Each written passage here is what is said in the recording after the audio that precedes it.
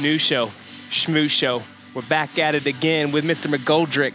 We're gonna do some power snatches. Rest four minutes and do them again. It's new show, it's new show. Why is it called new show? Nobody knows. It's new show. Welcome back to the new show, my friends. Today we're doing a strength piece from the RX Path. This is on Wednesday, 112, 2022. Four times, you're gonna do 10 power snatches at 185, 135, or if you do not have the capability of doing that, 80 to 85% of your power snatch 1RM. You'll rest four minutes, and then it's going to be eight by two touch and go power snatches at 165, 115, and the same rules apply, or 75% of your 1RM power snatch.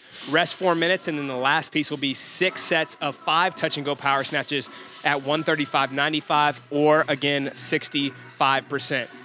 Mike then will rest as needed and we'll jump into front squats. If you watched our um, open prep training video that we released on YouTube, you'll know about the auto regulated squats. But Mike will be doing some auto regulated front squats, AMRAP minus two, which means two away from failure, or when your speed slows significantly at 80%, then 76%, then 72%. And RAN means rest as needed. So he'll do one set of 80, rest is needed, then 76, rest is needed, 72. And then the last piece today will be an EMOM for six minutes. It's a 30 second AMRAP of sandbag over the shoulders at 150 for the men and 100 pounds for the ladies. We're gonna let Mike finish warming up and then we're gonna rock and roll.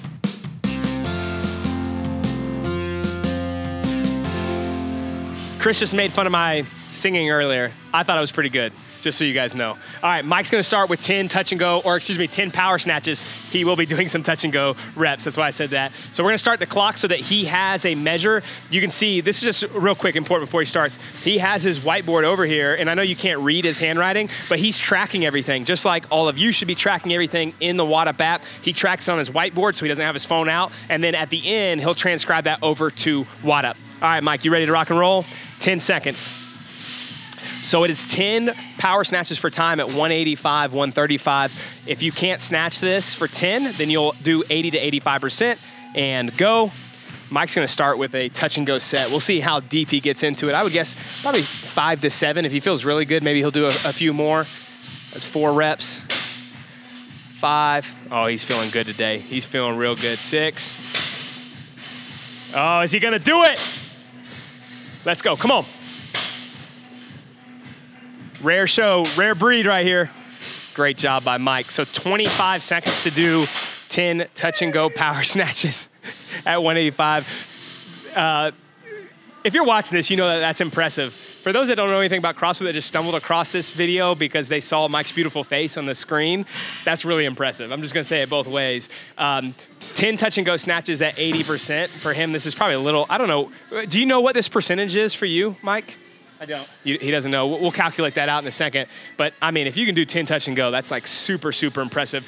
And again, this is something that you now are starting to see in that second stage. You most likely won't see it unless it's a ladder format in stage one, in the actual open, you know, maybe like a 17.3 variation.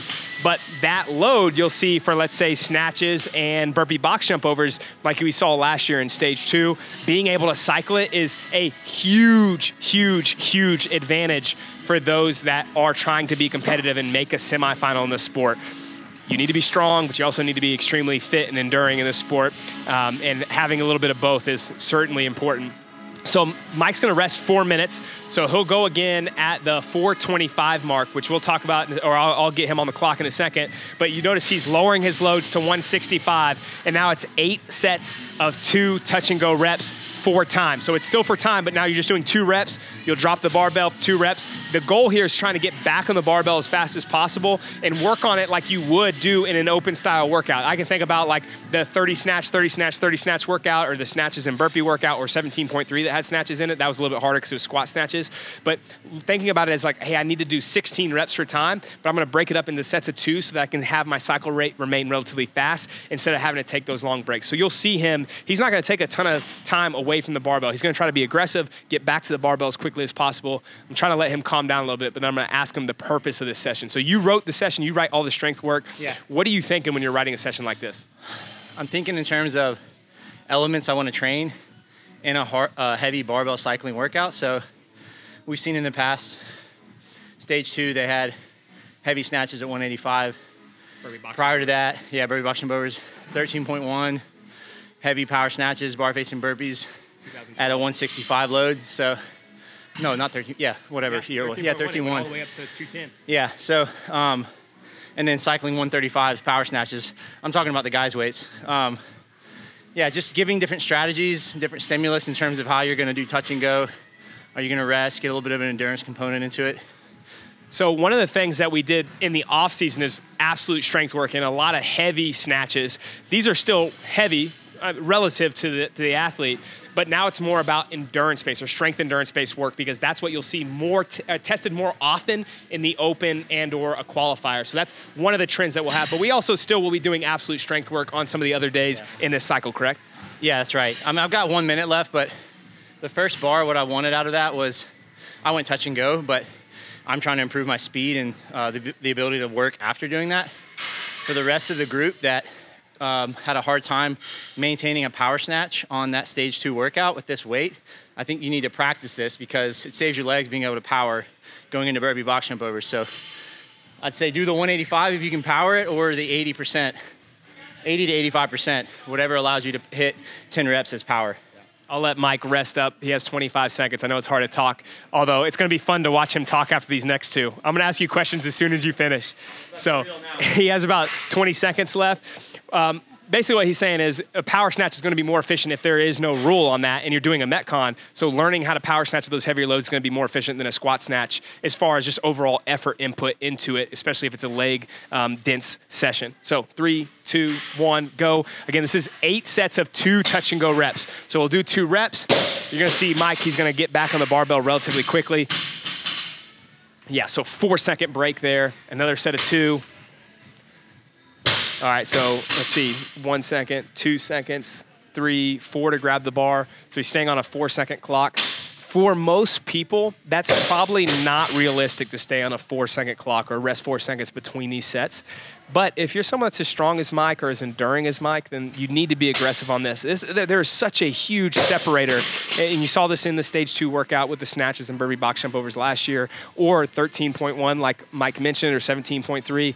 Those that can cycle heavier barbells, I mean, you're making up so much time. Even if someone is as you know, quote unquote, enduring or has as big of an engine as you, if you can cycle the heavier loads, especially around your 80, 85%, uh, you're making up quite a bit of time on the field. So I believe that's his sixth set, fifth or sixth set. I lost count because I was talking, but still looks. I mean, the speed looks the exact same for Mike. Now it's just how long are his breaks between. So that one right there. Now he's at seven, eight seconds. So his, his rest break doubled, but he's towards the end of this. I would say try to keep your rest break the same for as long as possible, and then if you have to fall off, wait until the last couple sets. Just basically see how far you can go with you know, whatever you choose, five second rest break, six second rest break. Uh, if you're someone like Mike, four second rest break. See how long you can hold on to that. Awesome, to- awesome job by Mike. Really good time. So he finished that at the 5:55 mark. We'll just call it six minutes. So he'll go again at the 10 minute mark, unless he wants to start at 9:55. he wrote it down. This I don't know if you can actually see the board, but what he's doing is he's tracking everything so that he knows exactly what his times are and that he can compare these later on.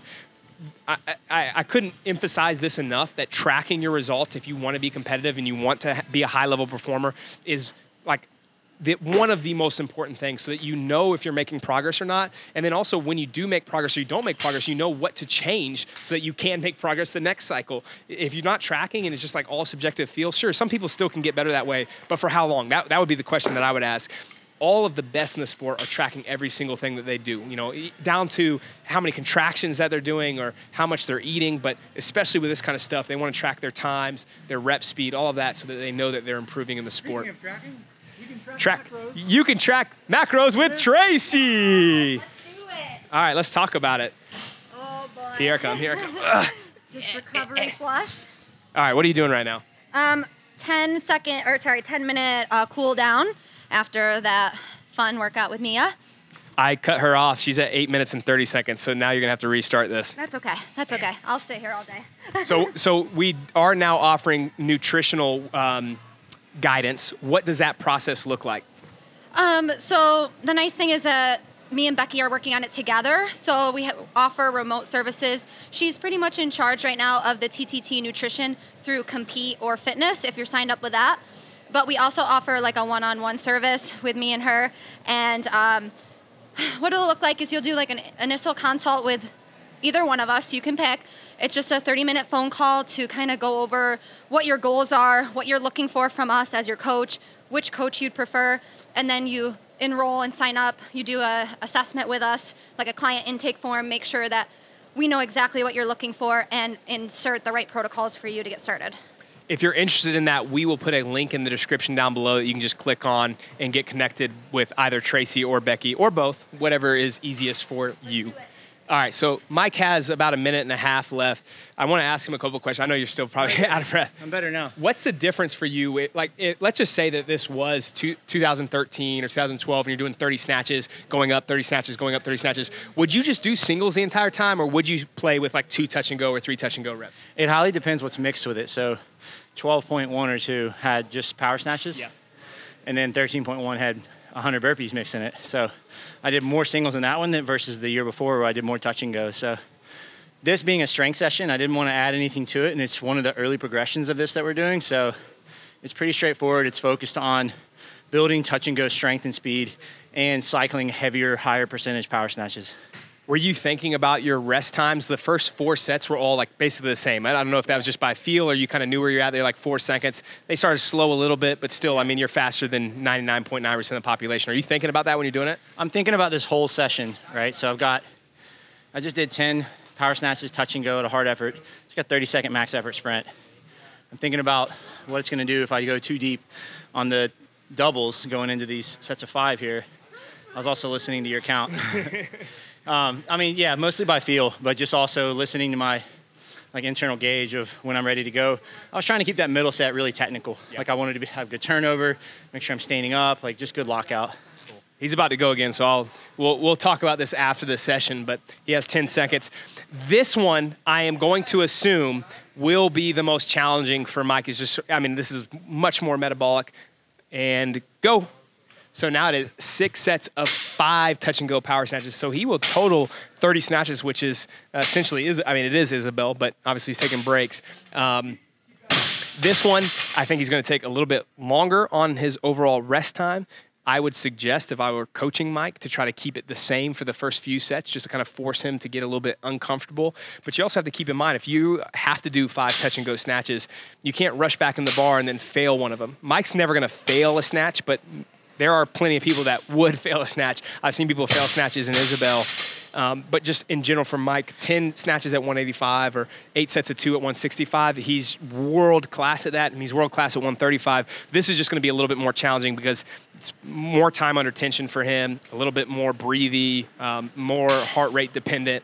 So I would assume that this the last couple sets here are going to be pretty challenging. The first couple sets look amazing. His speed, I mean, his overall speed of the movement almost always stays the same. One of the things you notice if you follow Mike is that like he, he's just powerful, he's strong, he's fast. And then if he fails, it's not like you, you don't know if he's going to fail something. You know, like a strict handstand push-up, it would just be like full speed, and then the next rep he stops. And that's typical of most really high power athletes. We have a couple here. Max is one, Kyle Ruth is another, Mike's another. They're all kind of similar in that way that it, it never gets grindy. It just goes from full speed to stop. Um, but that also means you got to be very careful with how you pace uh, especially open style workouts that may have a local muscular uh, limitation. So something to think about if you are a high power athlete. If you're someone more like me that's not as strong, but maybe super enduring and okay with um, moderate load barbells, you could probably push this a little bit more and just be okay with some deterioration towards the end. It's going to happen to everyone.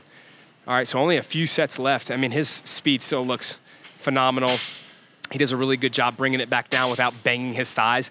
As far as technique goes, I really like just kind of a really light brush or not touching your thighs at all on the way down. Just makes it much, much, much easier. Uh, he's doing a good job of that. Some people you see, they kind of like bring it back into their hip and they have this huge bounce and then they have to reset their grip every single time because of that. It's just really inefficient. That's what you see with any new athlete in any sport. You know, someone that's trying to learn how to shoot a basketball, throw a baseball, uh, throw a football, whatever, uh, play golf.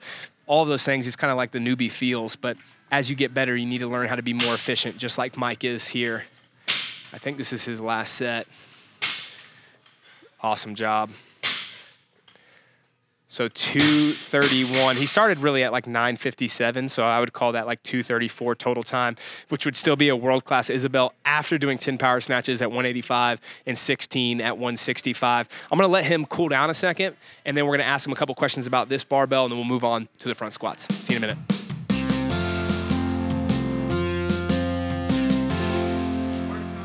It's time to party. We're back with Mike. He just finished the power snatches. We're about to start the front squats. Before we talk about the front squats, power snatches, which one was the most challenging for you? The last one was the most challenging. I think mainly just because of how I set the tone on the first set, like going 10 touch and go. I knew it would blow me up, but I wanted to have to deal with like fatigue going into the lighter bars and holding myself to like shorter rest breaks. It's essentially like doing a 30 second assault bike sprint or echo bike Yeah. sprint and then trying to hold on for the rest of them, right? Yeah, I mean the amount of tension you have to create to control 185 for that amount of reps, just like it's really gassing. And uh, yeah, so it was just practice on me being more efficient with the 165, and then even more so with the 135, like keeping myself disciplined with rest breaks, making sure that I'm controlled and loose in the eccentric coming down, but not too, so much that it pulls me out of position. Yeah. So now we're moving to the front squat with front squats. Three sets, AMRAP minus two. You're going to do an AMRAP minus two at 80%. Yep. Rest is needed. Then at 76%. Rest is needed. And at 72%. Before we ask Mike, just real quick so you guys can see his numbers. So his he's going off 400 because he hasn't tested a 1RM in a while. He hasn't been squatting as much. I'll let him touch on that uh, in a second. 80% at 320. His 76 will be 305, and then his 72% will be 285. Just so you guys know the loads. So Mike, what's the game plan on these? Do you have like a rep scheme in mind? So when I say AMRAP minus two, it's leaving two reps in the tank, and there's a couple of ways you can dictate that, and it's going to be different per lift. So like a back squat's going to be very different because the bar's on your back, you can rest, you can breathe, you can stand up tall. Versus a front squat, it's going to be way more direct on stopping two reps before failure. You're not going to be able to just sit at the top and pause and go into another rep. You're going to go until you feel your front rack collapsing or until your legs fail. So I'm literally going to stop once I feel the speed really start to slow down and I have to like grind out. Because out of this session, I'm just trying to look at accumulating a, some healthy volume so that I can actually progress on it next week. Yeah, I think that the speed, the subjective speed is probably the best way to dictate this instead of just saying, oh, I think I can get two more, like grinding them out. So, what Mike's doing is probably a better way to train, especially earlier on in the cycle. We will auto regulate front squats throughout the cycle or other squatting variations. So, you can push it a little bit more as you go through. The first couple weeks, I would kind of be a little bit more conservative. So, Mike's going to go ahead and start his first set. Again, this is AMRAP minus two at 80% of his 1RM front squat, which right now we're going to list at 400 speed as always looks fantastic coming out. His positions are really good. So that's three reps. He's going to stop there. And we're going to talk to him right away. You don't even get a chance to breathe. Yeah, that's fine. what do you feel?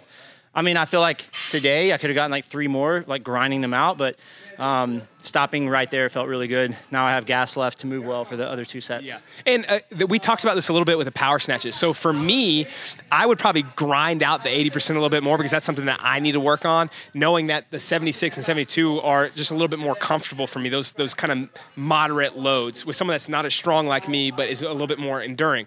For Mike, he's thinking more about the 76 and 72% of like, hey, those are going to get pretty challenging for me because he's really strong. And you'll notice like if he did 72% a true failure set, all of them would look basically the same until he failed. And I talked about that a minute ago with the power snatches. That's just like the way that he is, the same way Kyle Ruth is. They're super powerful and it's like super fast every single rep until they hit that wall. And so that's where he has to be smart or wise when he's doing these reps to make sure that he doesn't get to a failure point. Some of you, especially those that are a little bit, uh, you know, I guess I, I'm going to say it weaker can probably do seven or eight or maybe 10. Yeah, those that are weaker than Mike, those that just aren't very strong, you're going to be able to do many more reps than, you know, maybe Mike or a Kyle Ruth on this. Whereas those that are really strong, you're going to have, you know, probably less reps when you're doing this. And that's okay. That's why it's auto regulated. So it's rest is needed.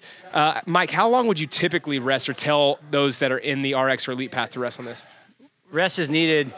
Normally that means more than two or three minutes, um, but I want you to go when you feel ready. The purpose being strength development, not fatigue-based strength development. So I'm not putting this on short rest because I'm not worried about like the endurance of it. I'm worried about you being fully recovered, let your nervous system kind of respond and rebound and be ready to generate power again.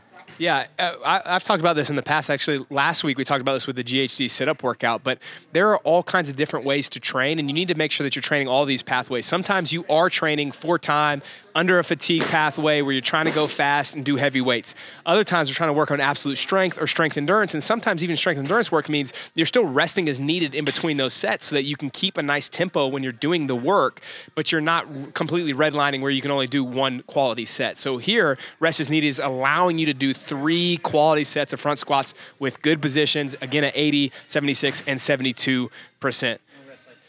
Okay, Mike's gonna rest one more minute. While he's resting, I'm gonna come over here, talk to Mr. Kyle Ruth.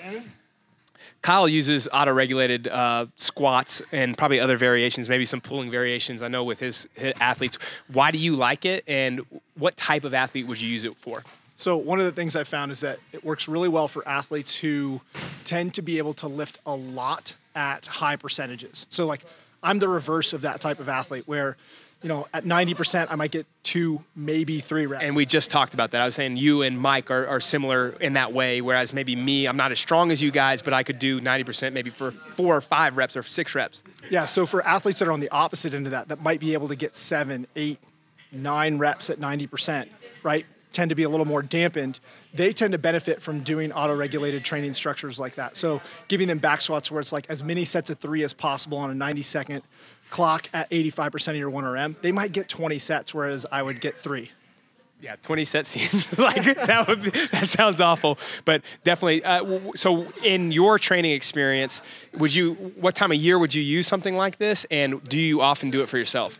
I would do these as off-season protocols. Um, and in terms of using it myself, I use it to build strength endurance. So what it would be is I would do my like front squat percentage-based work, and then I would finish with one set of AMRAP minus two, so that I can build that sort of ability to lift a moderate or high percentage for higher reps. Yeah, so Kyle's basically doing his absolute strength work, and then he still wants to get a touch of this because that is the sport, especially in the open. So being able to, you know, squat 80% or whatever it may be that comes out. So Mike is going to do set number two. This is now at 76%, and it's 305 pounds. All right, set up. See, speed looks good. His positions look really good. Mike's got a decent front rack. His squat position's really good. Um, he's always really upright when he catches his squat clean, so his front squat rarely rolls forward. And he stopped there. You can see that one, that last one, maybe a little bit slower, but he's being. How many reps was that? That was four. Okay. So four reps. Now he'll go down to 72%, which will be 285 pounds for Mike.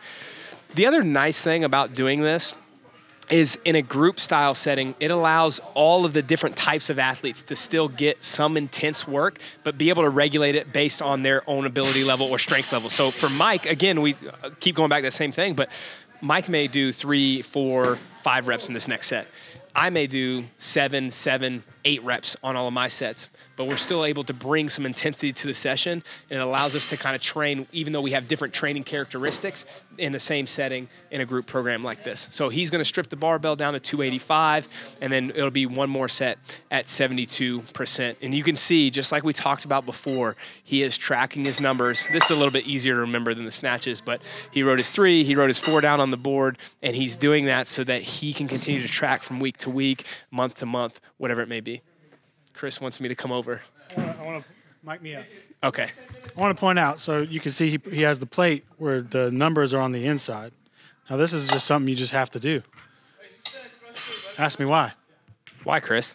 Well, I went to Westside Barbell once, and that's what they do. And you want to be like Louie Simmons?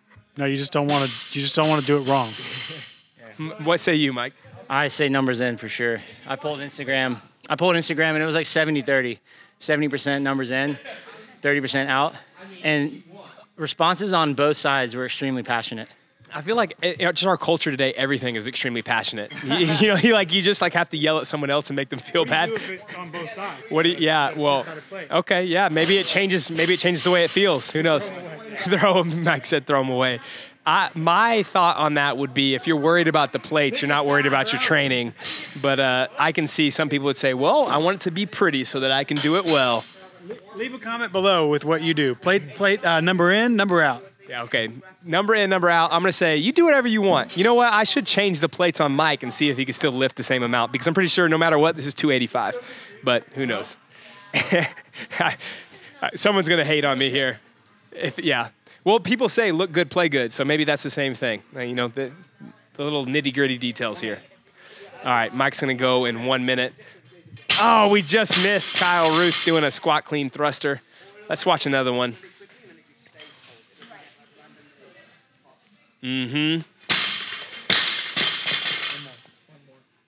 Wow, now he's getting a close up here. Oh, he disappeared. That would have been bad. Kyle, you're prepping for a special competition. What is it? Uh, Wodapalooza Masters. Yeah. Is this your first time doing Masters in Wodapalooza? Yes. Well, I guess it would only be the second, maybe third year that I could. What? Mike said, "When's the last time you did individual Wodapalooza?" 2014. A big gap, and now you're a Masters athlete. What's your game plan for the entire year? Obviously, doing Wodapalooza, but are you going to do Masters team? What, is, what does it look like this year? Uh, I'm going to do Masters individual. I'm going to try and go as far as I can. It, the season structure is pretty tough, taking it down to 30 and then 10. Make a bold claim. Uh, Ethereum's going to pass Bitcoin in. Let's go! I sure hope so. That'd be good. Okay, sorry. Mike- Mike's about to do his third set. So this one, this one is 285 pounds at 72% of his 1RM, which we are using 400 pounds for his 1RM. It's a good angle because you can see his torso, uh, where his elbows are throughout the lift, where his front rack position stays. Speed is the same as the other lifts. I mean, his speed always is just so good out of the hole. You'll probably notice a little slowing, and that's when he'll stop here. Okay, little slow there, and that, that's it. Yeah, yeah, you could notice a little bit, and that's where he calls it. How many reps was that? I wasn't counting again. That was five. Five. So he did a little three, four, five. You know, which is one each, one more each time. So what we'll do next, he's gonna rest as needed, and then we're gonna go to an EMOM time six of 30 second AMRAP sandbag over the shoulders at 150 pounds for the men, and it would be 100 pounds for the ladies. We'll let him warm up for that, and we'll come back.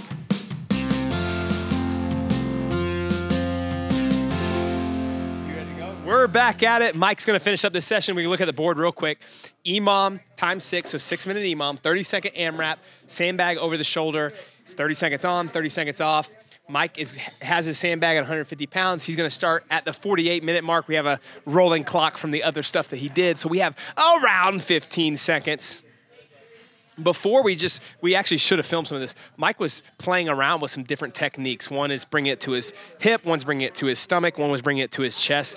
You'll probably play around with all of those here. Three two one and go. So a 30 second amrap that's more kind of stomach. Uh, some people will have to lap it all the way into their hips and then pull up. Some people that are a little bit stronger, like Mike, can pull it all the way into kind of their stomach or high hip and then pull it like he's doing here. And then someone like, uh, if you've seen Rich Froning, this is who Kyle Ruth was just talking about, he almost like just a slow pulls it to his chest. It never touches his, his hips or his lap. And then he kind of just rolls it over, which is a pretty efficient way because, I mean, if you have good deep hip flexion, you can reach all the way down and then just slowly pull it up without using a ton of like explosive effort to get that hip extension to get the sandbag over your shoulder. So I just ran right into the J hook. now my arm hurts. Oh man, it's been a mess today, guys. All right, 30 seconds on, 30 seconds off. He has about 10 seconds left before he starts again. This by far to me would be the worst part of the session. I love power snatches. I don't mind front squatting, but sandbags 30 on, 30 off would be really tough. And go. Set number two. He's using that same technique. This is kind of the technique that I usually see Mike use. I'm gonna ask him if he'll change it up a little bit for maybe one of these sets, just so you can see the difference in like how to pull to your chest, how to like truly lap it and slow yourself down a little bit. He's 15 seconds into this set. That's either three or four total reps. Good rep. All right, he has room for one more. He did six reps his first set. How many reps was that? Six. So he did six on minute one. He did six on minute two. Let's see how close to that. It's going to be hard by minutes four, five, and six to hold that. Mike, on this set, can you play around with just like doing one pull to your chest, kind of like what you were practicing before, just so people can see it? Yeah. He'll try. Um, let's see if he can do one. It's just, I think these are the times when we're doing EMOMs, and I say this all the time in the master's path practice your technique on these things. Even if it is like a true strength or for time workout, in training, play around with the variations. You can see there, that was one that he pulled to his chest. Same thing there. It's just like not lapping it. It kind of looks similar from the side, but if you actually were here in person, you can kind of see the difference. That one he lapped a little bit more. I think for Mike, it's a little bit harder to go all the way to the chest instead of lap. Now that one he just lapped again. He's just much better at getting it into his hip and then just kind of popping his hips. He's super strong in that position. It doesn't really uh, affect him maybe as it does someone else. But if you can pull to your chest, that's also another easy and effective way to do it. So 30 seconds off. How many reps was that? Six again. Mr. Consistency here, six, six, six, three sets to go. Going back to the whole EMOM concept, I will program EMOMs for athletes or for myself when I'm trying to practice a movement or when I'm trying to do conditioning work. So there are different variations, just like with anything of training, that can have a different purpose. And so sometimes with an EMOM, you could think about it as like, hey, I'm only gonna do three sandbag over the shoulder every minute, but it's not I, am not thinking about this as building an engine or capacity. I'm thinking about this as finding the best technique for me over the course of 10 minutes so that then I can utilize that technique when I am trying to build an engine or capacity in a Metcon or for time or AMRAP setting, whatever it may be. So that's one way that you can think about it. Another way is a true like EMOM where it is like uh, we uh, I always call it Jason Khalipa EMOMs where it's like true Metcon feel where you're only resting a couple seconds at the end. But we rarely use those in TT compete because we're more focused in these sessions on trying to either build strength or build the skill of the movement. If you can build a nice bedrock of skill first, then you can build endurance that is like everlasting and evergreen. If you build your endurance, but you have really bad technique on something like a sandbag, handstand push-ups, chest to bar pull-ups, you always have to go back and rebuild. And most likely, you're kind of I, I will use like this kind of silly analogy, but like you're building your bedrock on sand as opposed to building your bedrock on cement or concrete, whatever you want to call it. All right, so this is set number five. He's done six every single set so far. You can see his technique really has stayed the same a nice strong lap in the kind of belly button area, and then just a basically a, a rapid hip extension. Mike's really good at this. I, I, wish we had another person doing it because like even Kyle Ruth, his technique's slightly different. My technique's totally different. My technique, I'm basically pulling it to my knees, and then I pull it to my stomach and then extend. So I'm just much slower, but I'm not as strong in that bottom position like Mike is. So one more set for Mike. Was that six again? Yeah. Beast mode. Are you getting tired right now? No, I feel good. Can you talk the whole 30 seconds? No. All right, 15 seconds, and then we will do our last set. And by we, I mean Mike. 10 seconds left. Five, three, two, and one. Let's go.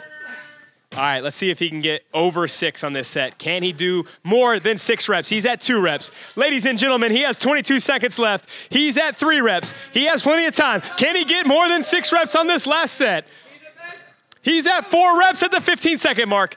That would mean that he could do eight reps, but he has slowed down now. All right, he's at five. Come on, get another one. And six reps. Six, six reps it is. Great job by Mike. We'll come back in one second to kind of finish out the session. We'll see you in a second.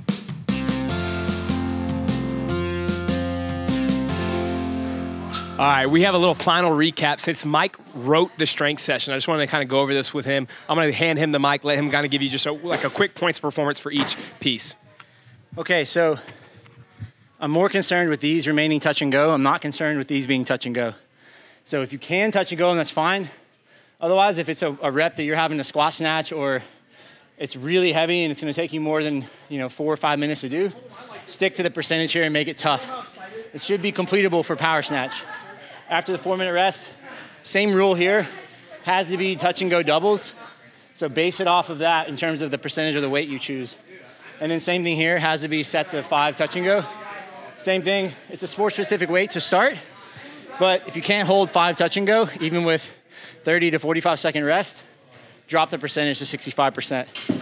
The front squats, we talked a lot about what we're looking for in terms of minus two. Stick true to that because we're going to progress on these for a couple weeks, so leave room to build. Last piece, just sandbag technical work. If you are only getting one to two reps in the 30 second window, lighten the load and work on cycling a little bit more, work on technique, lapping it, just get a little more exposure to accumulate a little more volume. Um, so that's not just turning into like one rep every minute or so. You want to see if you can do a better rap than Brandon? Yeah, finish it off. It's a new show, bro. Oh. Drop. That's it, folks. I, I stopped because I almost started. It's new show, it's new show. Why is it called new show? Nobody knows it's new show.